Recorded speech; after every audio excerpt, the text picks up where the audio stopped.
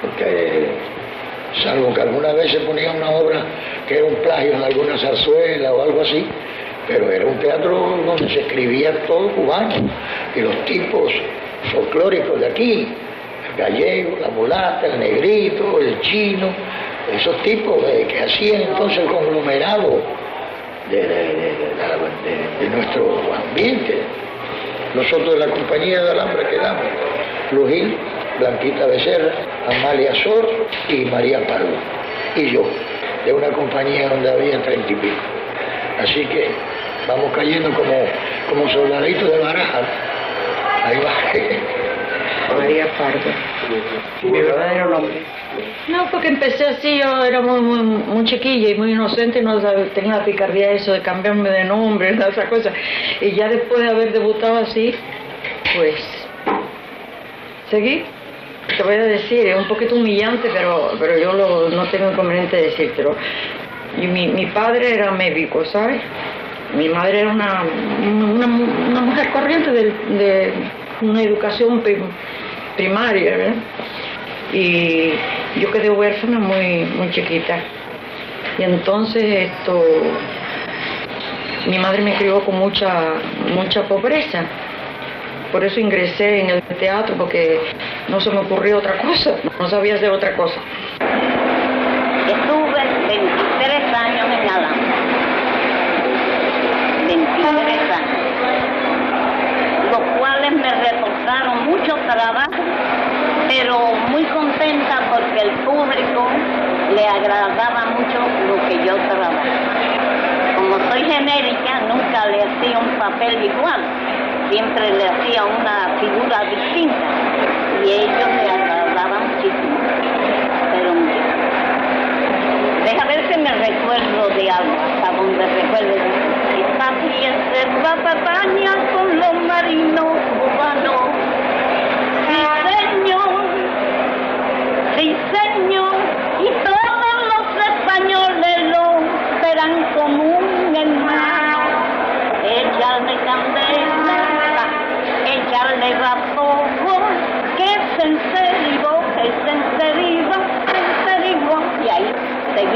Cantando y bailando. Agradaban muchísimas estas cosas. Bueno, y así sucesivamente hice tanto, tanto. Hice una labor de esas titánicas. Yo había domingo que cantaba 20 números entre matiné y función. Bueno, las me lo permití. Bueno, yo me destaqué en algunas obras porque en algunas había protagonizado pues, La Madame Montan, la revista Sigilo, El aire eh, del video automóvil, esto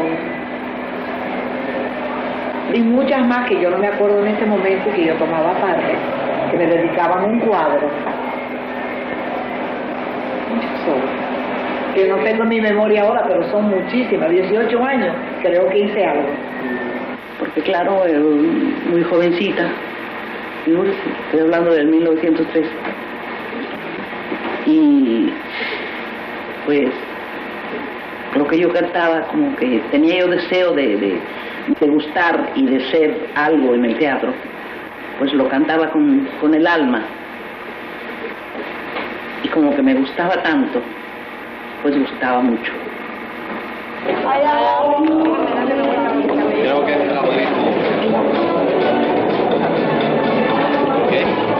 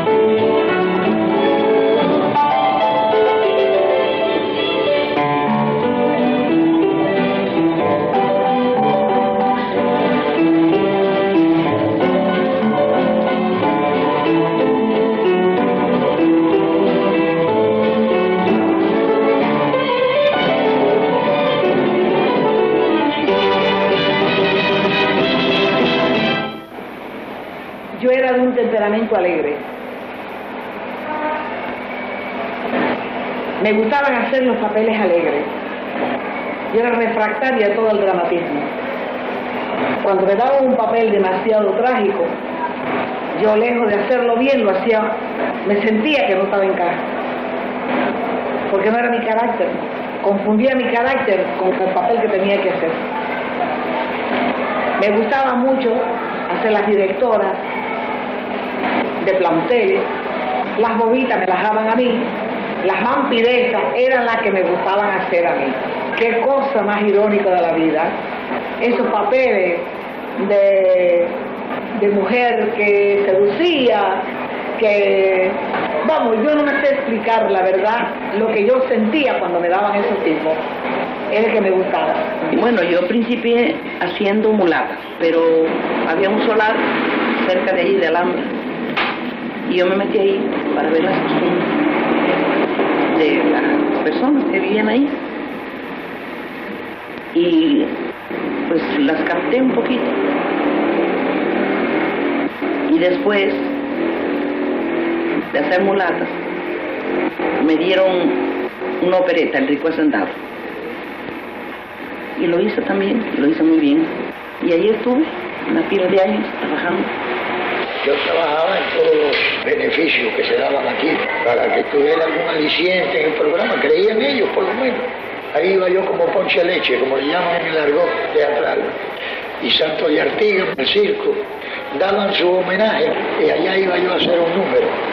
Una vez me metí en una jaula con siete leones, otra vez me oso, otra vez eh, trabajé con unos caballos de unos acróbatas que venían, unos, ¿cómo se llama? Eh, unos ingleses que vinieron aquí trabajaban en, los caballos, unos caballos, oh, yo trabajé con ellos.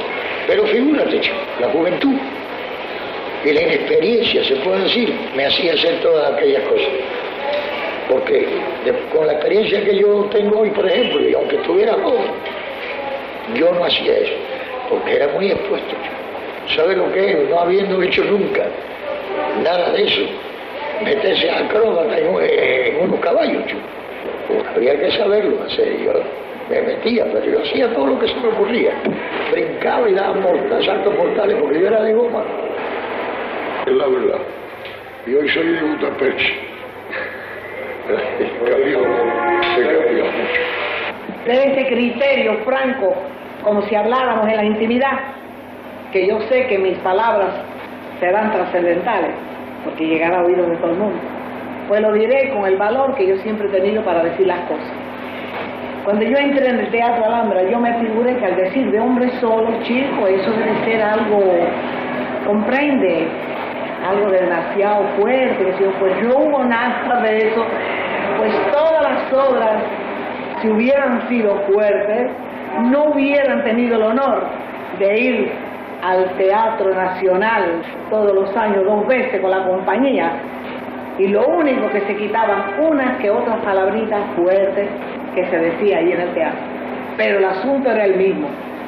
Y picantito en cuanto a la política, sin decir nombre, sin decir nada, el mismo público hacía la obra. Decía, esto es fulano, esto es y todo, según la época de los distinguidos eh, políticos que venían, ¿verdad?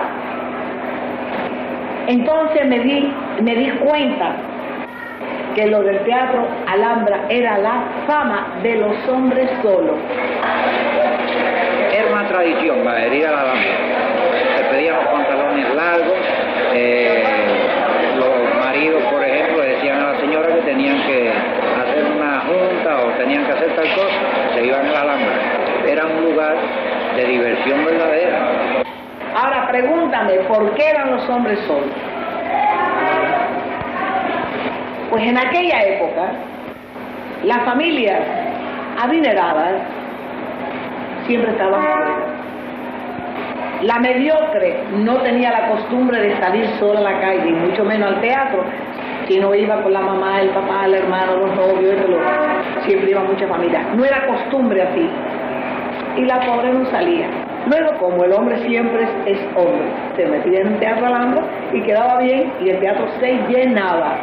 mientras que hubiera sido de otra manera, no llegaría a tener ese compañero tan grande como estuvimos tantos años. Chico, cuando en el año yo casi ni conocía la voz. Pero, hombre, sí, lo conocía, desde luego, pero no así como después, ¿no? ¿Pero qué pensaba usted de ese teatro? ¿Qué... Chico, yo, yo sé por qué me lo preguntas. ¿eh? Porque la gente pensaba eso, pues yo también lo pensaba, francamente, pero después que estaba dentro vi que no era tal cosa lo que se pensaba de él, porque ya te digo, el escenario de Alhambra era un templo, chico.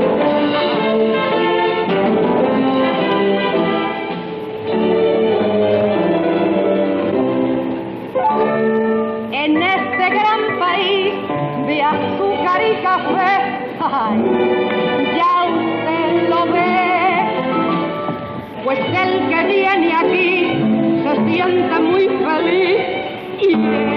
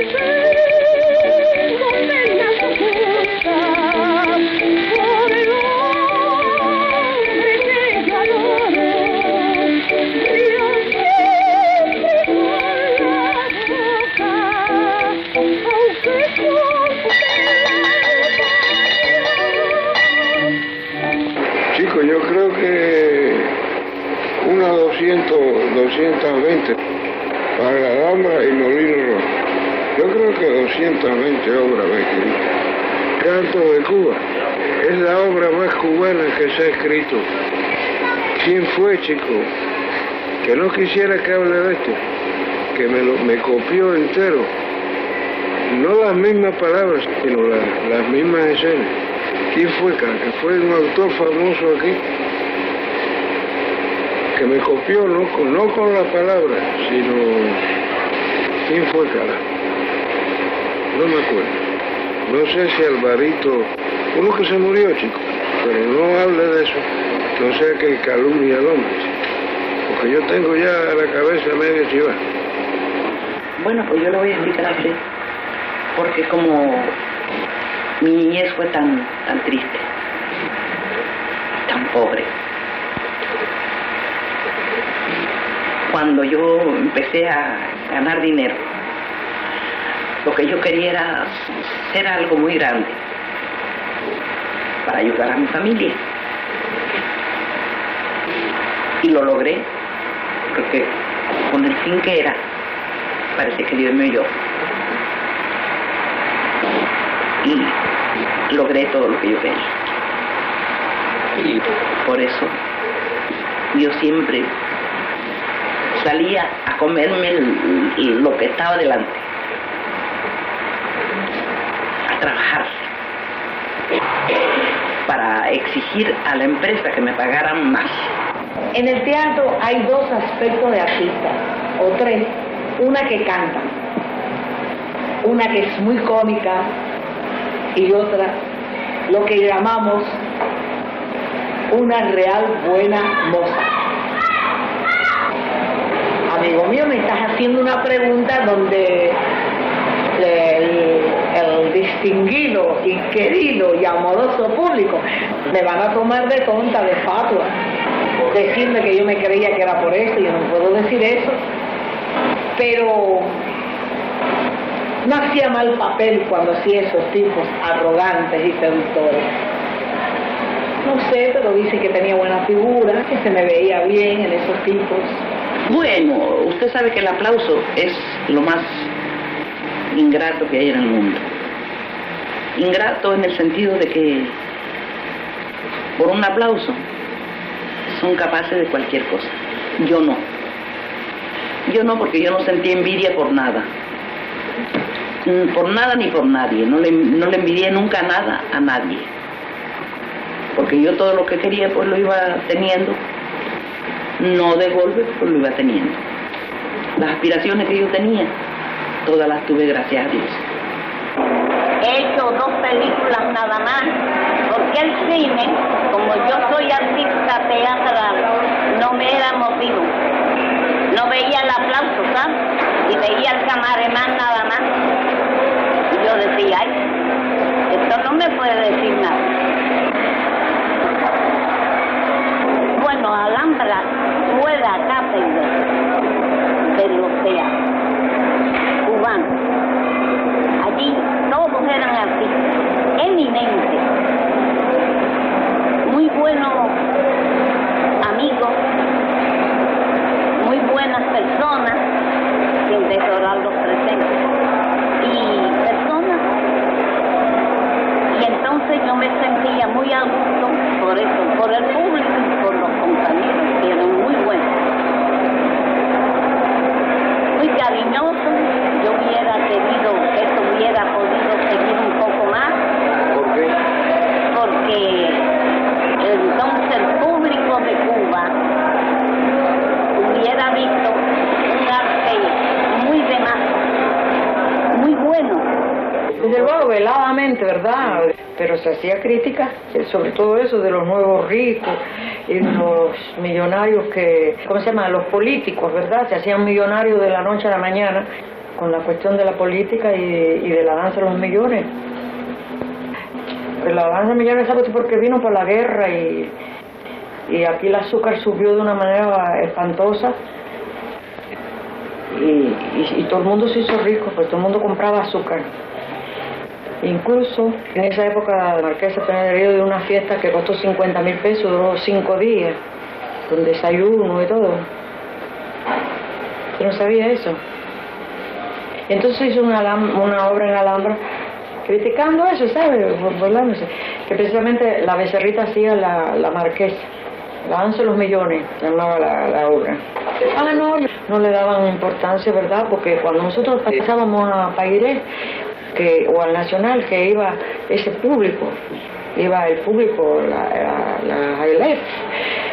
Bueno, entonces reían y aplaudían y celebraban y encantaba esas cosas.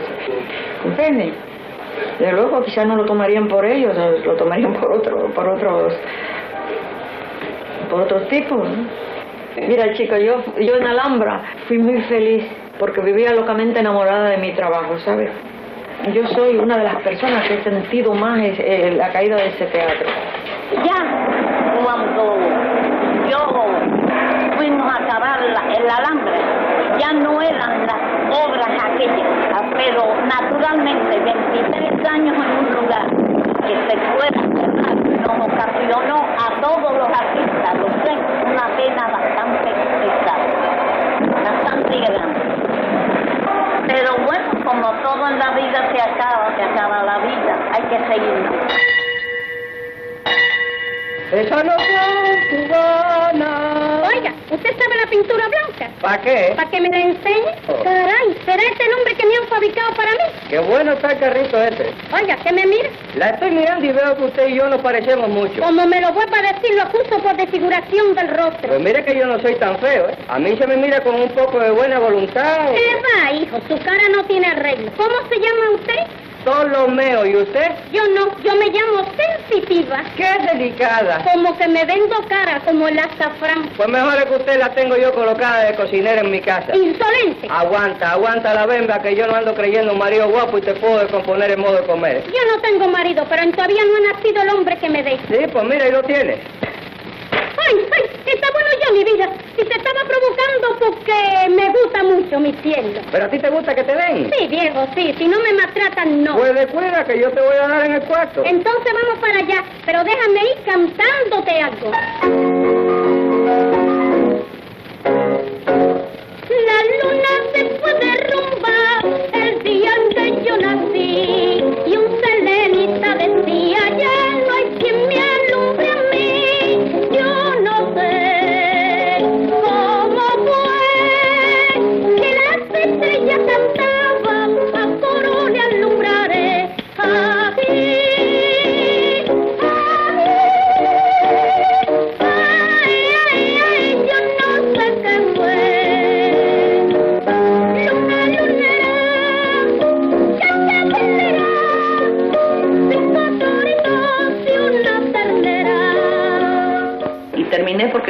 de estar ahí.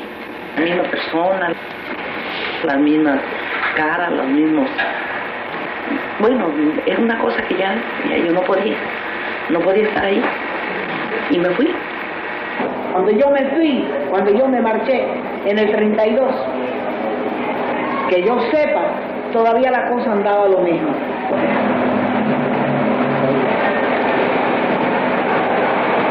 Yo no me acuerdo de que haya habido otros actores. Siempre fue el mismo proceso, siempre fue los mismos artistas y todo. Y que no, esto, sí me, yo me retiré por asuntos personales míos, con mi mamá que estaba enferma. Pero no tenía nada que ver el teatro. Absolutamente. Pero decían que ya habían entrado una serie de actores y que estaban ya la Bueno. cosa por el problema del... Yo no he trabajado con esos actores, que yo me acuerdo, ¿no? Y yo dejé a varias compañeras allí actuando. No, no, no, no recuerdo. No cambió tanto, desde luego, se hicieron fuera de él otras cosas. Y yo te lo digo sinceramente porque recuerdo a Alhambra con cariño y le tengo mucho cariño todavía. Eh, hubo una época que eh, ciertos gobernantes realizaban películas con un teatrito que había ahí al lado de Alhambra. Luego desaparecieron. Y eso fue motivo político más que nada, política viciada en aquel entonces que nosotros mismos desde el escenario de Alhambra estábamos combatiendo siempre. Últimamente sí, últimamente llegaron a contratar allí unos artistas que traían una fama del gusto por las cosas del género. Ya cuando ustedes se habían ido. Eh, sí, Cuando se habían ido principales no, cuando nos empezábamos a pensar en irnos. Sí, porque yo francamente ya no me hallaba allí. Porque si había un actor que me decía una mala palabra, yo que nunca la dije, pues decía yo, ¿qué le contesto a este señor yo ahora? Porque el público se reía. El público reía carcajada con aquella mala palabra que decía aquel hombre. ¿Qué decía yo después? Que no era tan, que no era desvergonzado eso. En Alhambra había un artista que lo votaron por eso, Guillermo Moreno. Que Guillermo Moreno decía, de vergüenza, trabajando, decía un coño, pero decía coño. Y lo votaron como tres veces. Pero era tan buen artista que lo tenían que volver a poner. Ya de los de los actores antiguos no quedaban más que dos o tres, entre ellas yo. No me acuerdo los otros, ¿sabes? Tres o cuatro figuras. Ya figúrese, aquello iba cayéndose como cuando se vino luego. ¿Y por qué usted se quedó en el teatro, María? Eh, ¿Me quedé allí? Sí, pese a aquellas cosas de, de las palabras. Bueno, no, si le digo que ya me, ma- ¿cómo se llama? Em, Yo me, me retiré y todo porque yo hacía una obra que yo la hacía con Regino, que era una obra muy bonita, que se llama La niña de mis ojos. Era un drama, ¿eh? un drama, y- y- de nos- lo tomábamos en serio, porque yo he visto al público de Alhambra llorando en la y yo decía, Dios mío, ¿será posible que este público con, esta, en este teatro llore? Entonces yo salí a hacerle a un, eh, eh, uno de esos actores pidió esa obra para debutar. Y efectivamente, al, al, al salir a escena, con asombro mío, figúrese usted, dice, no voy a repetir lo que dijo, ¿eh? Dice, dígale usted a este señor, dice, dígale usted a esta señora que se vaya para tal cual parte. Óigame, yo hice así, ¡zum! me, me fui de- de- del- escenario porque me, me- quedé asombrada, figúrese. Y, y, y entonces todo el mundo, el traspunto, mundo, pero María, sal, sal. Digo, no, no, no, no, yo no salgo, por nada del mundo salgo. Y me puse a llorar, figúrese, como una Magdalena, yo porque, y, y me fui. Y la obra se suspendió. Bajaron el telón y dijeron que yo me vi indispuesto y que yo. Y yo me fui del teatro. Entonces me fueron a llamar y me, me volver. Efectivamente no se repitió más, pero vino el sabotaje ese del, del, del, del teatro y ya, se terminó la Sí, y por, por una mala entendida economía de Regino y Villó, se cayó el colgadizo y mató a más gente que tenía. Yo no sé cómo no me cogió a mí en el negocio. Costaba una porquería eso, pero era muy duro, chico, Regino. No diga nada de esto. De Regino y... ¿Cómo se llama? Y Villó. Era muy duro.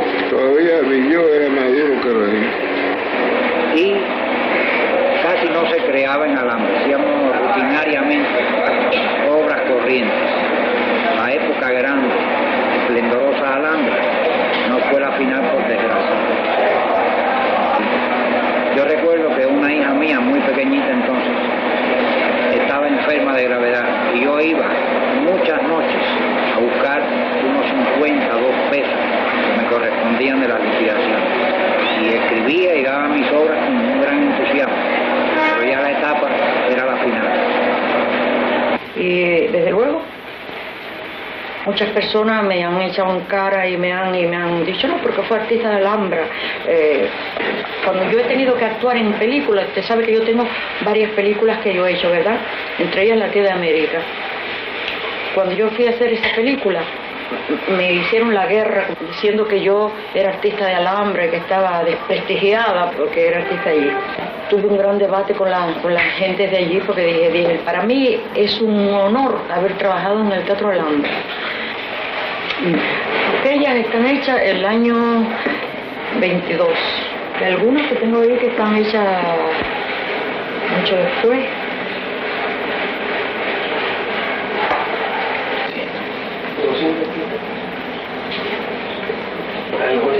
Bueno, no, no sé, no te recuerdo ninguno.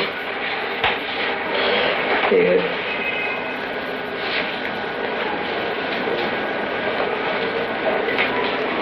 Esa es bonita, ¿verdad? Qué bonita esa foto.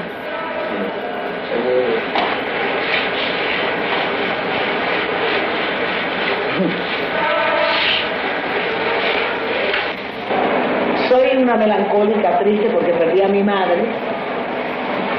Eh, me siento triste por eso, ¿sabes? Me falto mucho en mi familia.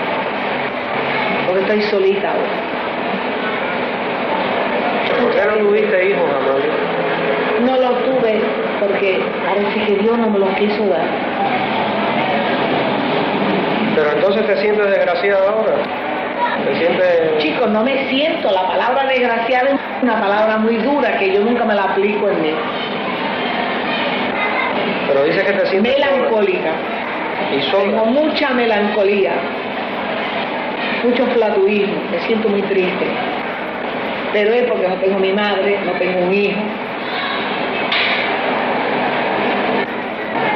Y, y lo único, el único cariño Pero que como tengo un carácter jovial, perdóname que te interrumpa en este momento, este carácter me hace vivir muchas veces una hora, dos horas de esto, de lo otro, que eso me acompaña mucho a mis años. Se lo voy a explicar en dos palabras. La persona que ha estado siempre rodeada de personas que la han querido, de familiares, pues se siente satisfecha. Pero yo me siento muy sola, porque es horrible llegar uno a su casa y no tener con quién hablar. Es muy triste. Muy triste, muy triste. Y la verdad es que para vivir así, que se perdone Dios, es preferible morir.